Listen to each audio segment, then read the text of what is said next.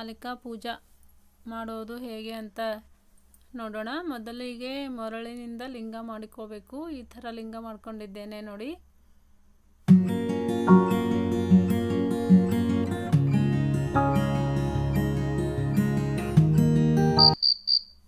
ಲಿಂಗ ಮಾಡಿಕೊಳ್ಳೋದಕ್ಕಿಂತ ಮೊದಲು ರೇತಿನ ಚೆನ್ನಾಗಿ ತೊಳೆದುಕೊಳ್ಳಬೇಕು.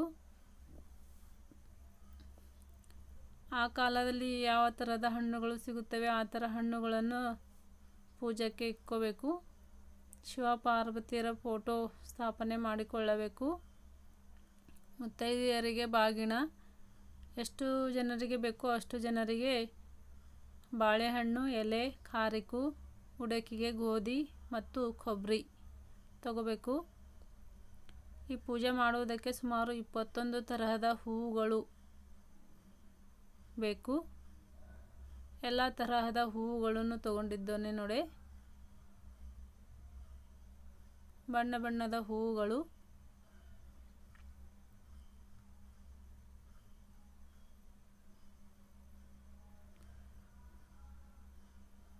ಇಪ್ಪತ್ತೊಂದು ಹೂವುಗಳು ತಗೋಬೇಕು. ಇಪ್ಪತ್ತೊಂದಕ್ಕಿಂತ ಹೆಚ್ಚಿಗೆ ಸಿಕ್ಕಿದ್ರೂ ತಗೋಬಹುದು.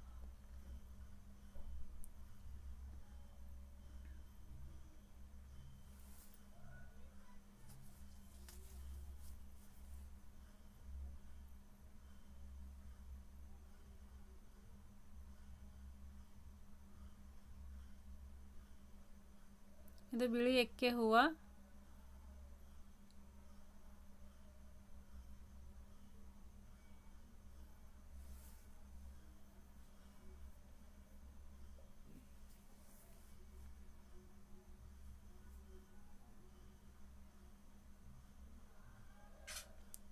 ಇಪ್ಪತ್ತೊಂದು ತರಹದ ಹೂವುಗಳನ್ನು ತಗೊಂಡಿದ್ದೇನೆ ಇವಾಗ ನಾನು.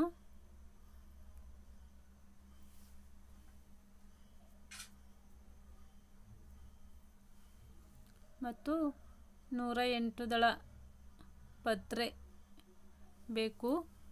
ನೂರ ಎಂಟು ದಳ ಪತ್ರೆನ ತಗೊಂಡಿದ್ದೇನೆ. ಚೆನ್ನಾಗಿ ಸ್ವಚ್ಛ ಮಾಡಿಕೊಂಡು ಇಟ್ಕೋಬೇಕು. ಪ್ರತಿ ದಳಕ್ಕೂ ಮೂರು ಎಲೆ ಇರಬೇಕು. ಮಹಾದೇವನ ಪಿಂಡ ಸ್ಥಾಪನೆ ಮಾಡಿಕೊಳ್ಳಬೇಕು. ನೀರಿನಲ್ಲಿ ಹಚ್ಚುವ ದೀಪ ಹೇಗೆ ಅಂತ ನೋಡೋಣ. ಮೊದಲಿಗೆ ಎರಡು ಗ್ಲಾಸ್, ಗ್ಲಾಸಿನಲ್ಲಿ ಮೊದಲು ಅರ್ಧ ಅರ್ಧ ಗ್ಲಾಸ್ ನೀರು ಹಾಕೋಬೇಕು.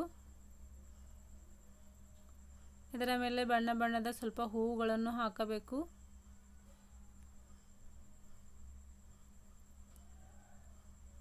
ತುಂಬ ಚೆನ್ನಾಗಿ ಮತ್ತು ಅಲಂಕಾರಿಕವಾಗಿ ಕಾಣುತ್ತದೆ ಇದು ದೀಪ.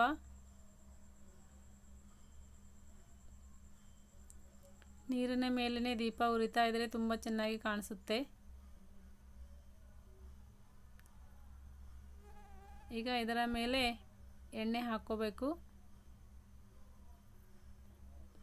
ಎಷ್ಟು ಎಣ್ಣೆ ಹಾಕಿದ್ರೂ ಪರವಾಗಿಲ್ಲ, ಜಾಸ್ತಿ ಆದರೂ ಹಾಕೋಬಹುದು.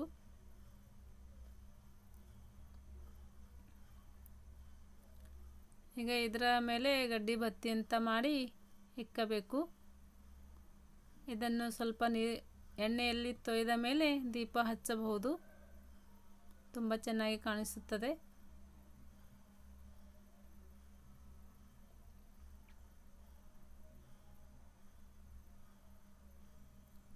ಇಪ್ಪತ್ತೊಂದು ಗರಿಕೆ ತಗೊಂಡಿದ್ದೇನೆ. ಹರ್ತಾಳಿಕ ಪೂಜಕ್ಕೆ ಇಪ್ಪತ್ತೊಂದು ಹೂವು, ಇಪ್ಪತ್ತೊಂದು ಗರಿಕೆ ಮತ್ತು ನೂರ ಎಂಟು ದಳ ಪತ್ರಿ ಬೇಕು. ಇದಕ್ಕೆ ಹಾಲು, ಮೊಸರು, ತುಪ್ಪ, ಸಕ್ಕರೆ, ಬಾಳೆಹಣ್ಣು. ಪ್ರಸಾದ.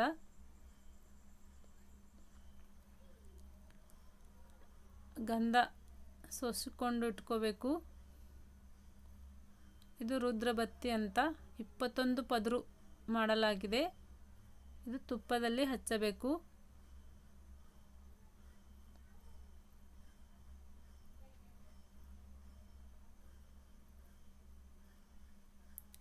ತುಪ್ಪದ ದೀಪ ಅಖಂಡವಾಗಿ ಬೆಳಗಬೇಕು. ಪೂಜೆ ಆದ ಮೇಲೆ ಬೆಳಗನ್ನು ಉರಿತಾ ಇರಬೇಕು ದೀಪ.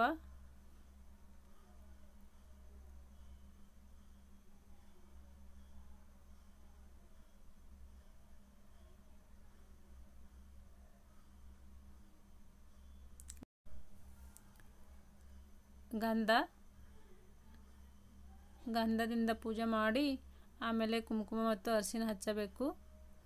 ಅಕ್ಷತೆಯಲ್ಲಿ ಸ್ವಲ್ಪ ಅರಸಿನ ಮತ್ತು ಒಂದು ಸ್ವಲ್ಪ ಅಂದರೆ ಸ್ವಲ್ಪನೇ ತುಪ್ಪ ಹಾಕಿ ಅಕ್ಷತನ ಕಲಸಬೇಕು. ಅಕ್ಷತೆ ಈ ರೀತಿಯಾಗಿ ರೆಡಿ ಮಾಡಿ ಇಟ್ಕೋಬೇಕು. ಯಾವುದೇ ಪೂಜೆ ಆದರೂ ಸ್ವಲ್ಪ ಅರಸಿನ ಮತ್ತು ಸ್ವಲ್ಪ ತುಪ್ಪ. ಅದರ ಮೇಲೆ ಹೂಗಳು ಹಾಕಬಹುದು. ಈ ರೀತಿಯಾಗಿ ಹೂಗಳನ್ನು ಹಾಕಿ ಅಕ್ಷತೆ ಕಲಸಿ ಇಡಬೇಕು.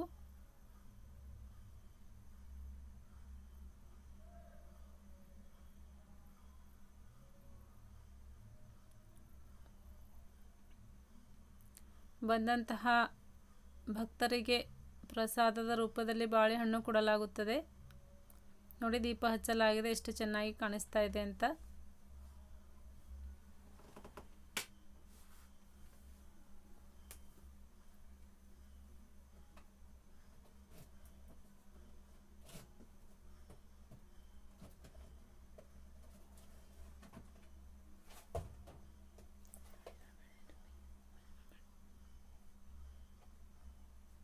ಮೊದಲು ಗಂಧದಿಂದ ಪೂಜೆ ಮಾಡಿ ಮೇಲೆ ಕುಂಕುಮ ಮತ್ತು ಅರಸಿನ ಹಚ್ಚಬೇಕು. ಇಪ್ಪತ್ತೊಂದು ತರಹದ ಹೂಗಳು ಮತ್ತು ಪತ್ರೆನ ಈಗ ಒಂದೊಂದಾಗಿ ಇರಿಸಿಕೊಳ್ಳೋಣ.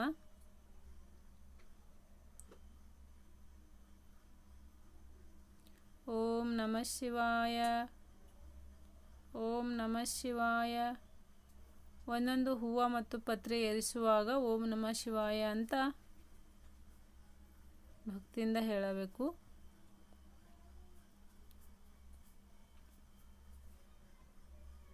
ಎಲ್ಲ ತರಹದ ಹೂಗಳನ್ನು ಏರಿಸಬೇಕು.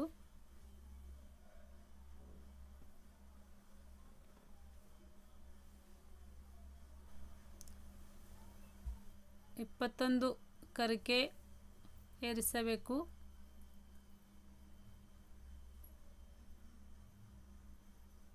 ಆ ಪೂಜೆ ಮಾಡುವ ಸಮಯದಲ್ಲಿ, ಆ ಕಾಲದಲ್ಲಿ ಸಿಗುವ ಹೂವುಗಳು ಮತ್ತು ಹಣ್ಣುಗಳನ್ನು ಏರಿಸಬೇಕು.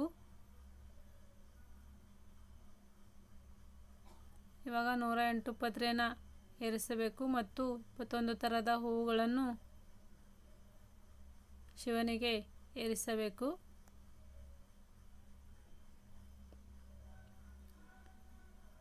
ಎಲ್ಲವನ್ನು ಏರಿಸಿದ್ದಾಗಿದೆ. ಇಪ್ಪತ್ತೊಂದು ಥರದ ಹೂಗಳು ಮತ್ತು ಕರಿಕೆ ಮತ್ತು ಪತ್ರೆ ಎಲ್ಲವನ್ನು ಶಿವನಿಗೆ ಏರಿಸಲಾಗಿದೆ. ನೋಡಿ ಎಷ್ಟು ಚೆನ್ನಾಗಾಗಿದೆ ಪೂಜಾ. ದೀಪಗಳು ಎಷ್ಟು ಚೆನ್ನಾಗಿ ಕಾಣಿಸ್ತಾ ಇವೆ. ನೀರಿನಲ್ಲಿ ಹಚ್ಚಿರುವ ದೀಪಗಳು. ಇದು ತುಪ್ಪದ ದೀಪ. ಈಗ ದೇವರಿಗೆ ಹಾಡು ಹಾಡುವ ಸಮಯ. ಮಲ್ಲಿಗೆ ಹೂವಿನಾಗೆ ಮಲ್ಲಯ್ಯ ಸ್ವಾಮಿ, ಮಲ್ಲಿಗೆ ಹೂವಿನಾಗೆ ಮಲ್ಲಯ್ಯ ಸ್ವಾಮಿ ಮಲ್ಲಯ್ಯ ಸ್ವಾಮಿ, ದೇವಿ ಪಾರ್ವತಿ ಬೆಳಗುವೇನಾರುತಿ ಮಲ್ಲಯ್ಯ ಸ್ವಾಮಿ, ದೇವಿ ಪಾರ್ವತಿ ಬೆಳಗುವೇನಾರುತಿ ಸೇವಂತಿ ಹೂವಿನಗೆ ಶರಣಯ್ಯ ಸ್ವಾಮಿ, ಸೇವಂತಿ ಹೂವಿನಗೆ ಶರಣಯ್ಯ ಸ್ವಾಮಿ ಶರಣಯ್ಯ ಸ್ವಾಮಿ, ದೇವಿ ಪಾರ್ವತಿ ಬೆಳಗುವೇನಾರುತಿ ಋತಿಯೇ ಶರಣಯ್ಯ ಶಿವ ಪಾರ್ವತಿ ಗುಡಿಯದೊಳಗೆ ಶಿವ ಪಾರ್ವತಿ ಗುಡಿಯದೊಳಗೆ ಪೂಜೆ ಮಾಡುವರ್ಯಾರೆ ಮತ್ತು ಸೇವೆ ಮಾಡುವರ್ಯಾರೆ ಪೂಜೆ ಮಾಡುವರ್ಯಾರೆ ಮತ್ತು ಸೇವೆ ಮಾಡುವರ್ಯಾರೆ ದುಂಡು ಮಲ್ಲಿಗೆ ಸೇವಂತಿ ಹೂವ, ದುಂಡು ಮಲ್ಲಿಗೆ ಸೇವಂತಿ ಹೂವ, ಪೂಜಾ ಕಂತೆ ತಂದೆ ನಾರತಿ ಬೆಳಗಲು ಬಂದೆ, ಪೂಜಾ ಕಂತೆ ತಂದೆ ನಾರತಿ ಬೆಳಗಲು ಬಾಳಿಯ ಬನದಾಗ ಸಮುಜಾನಿರಲಿ, ಬಾಳಿಯ ಬನದಾಗ ಸಮುಜಾನಿರಲಿ ಸಮುಜಾನಿರಲಿ, ಭಕ್ತಿ ಮುಂದಿರಲಿ, ಸಮುಜಾನಿರಲಿ, ಭಕ್ತಿ ಮುಂದಿರಲಿ, ಜಯವನ್ನು ಬೆಳಗಿರಿ ಮಲ್ಲಿಕಾರ್ಜುನಗೆ, ಜಯವನ್ನು ಬೆಳಗಿರಿ ಮಲ್ಲಿಕಾರ್ಜುನಗೆ. ಕಾರಿಕ ಬನದಾಗ ಸಮುಜಾನಿರಲಿ ಕಾರಿಕ ಬನದಾಗ ಸಮುಜಾನಿರಲಿ ಸಮುಜಾನಿರಲಿ ಭಕ್ತಿ ಮುಂದಿರಲಿ ಸಮುಜಾನಿರಲಿ ಭಕ್ತಿ ಮುಂದಿರಲಿ. ಜಯವನ್ನು ಬೆಳಗಿರಿ ಮಲ್ಲಿಕಾರ್ಜುನಗೆ, ಜಯವನ್ನು ಬೆಳಗಿರಿ ಮಲ್ಲಿಕಾರ್ಜುನಗೆ. ಆರುತಿ ಬೆಳಗುವೆ ಆರುತಿ ಬೆಳಗುವೆ, ಮುಕ್ಕಣ್ಣ ಶಿವಯೋಗಿ ಆರುತಿ ಬೆಳಗುವೆ, ರುದ್ರಾವತಿಗೆ. ಆರುತಿ ಬೆಳಗುವೆ ರುದ್ರಾವತಿಗೆ, ತೊಡೆ ಮೇಲೆ ಪಾರ್ವತಿ, ಜಡಿದಾಗೆ ಗಂಗಮ್ಮ, ಎದೆ ಮೇಲೆ ಶಾರ್ಪವು ರುದ್ರಾವತಿಗೆ. ಏಸೆ ಸ್ತ್ರೀ ಏಸೇನಲ್ಲ ಬಸವಣ್ಣ ತಾನೇ ಬಲ್ಲ ಅವರ ಮೈಮಾದಾರಿ ತಿಳಿಯಣಿಲ್ಲೇನ, ಅವರ ಮೈಮಾದಾರಿ ತಿಳಿಯಣಿಲ್ಲೇನ. ಆರುತಿ ಬೆಳಗುವೆ ಆರುತಿ ಬೆಳಗುವೆ.